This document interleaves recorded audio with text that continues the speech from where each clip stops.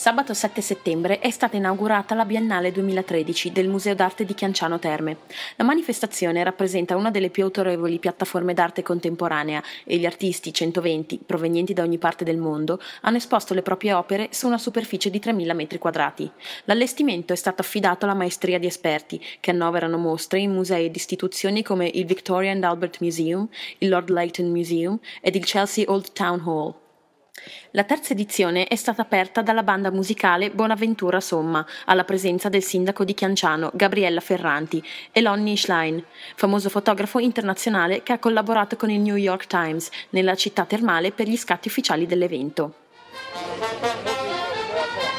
Ancora non ho finito di visitarla, ma posso dire che già dai primi pezzi è straordinaria e poi devo dire mi piacciono molto eh, le eh, mostre, questa è una biennale, che presentano quello che è il futuro dell'arte, perché vuol dire dare spazio ai giovani, ai nuovi artisti, a coloro che eh, sono il futuro della nostra cultura. Questa biennale vale la pena di essere visitata, è un evento culturale eh, di dimensioni importanti per Chianciano Terme e per tutto il territorio. Io direi che dal momento che ospita eh, da 30 nazioni più di 100 eh, artisti, e beh, eh, direi che è un evento culturale di grande dimensione e di grande importanza a livello nazionale e internazionale.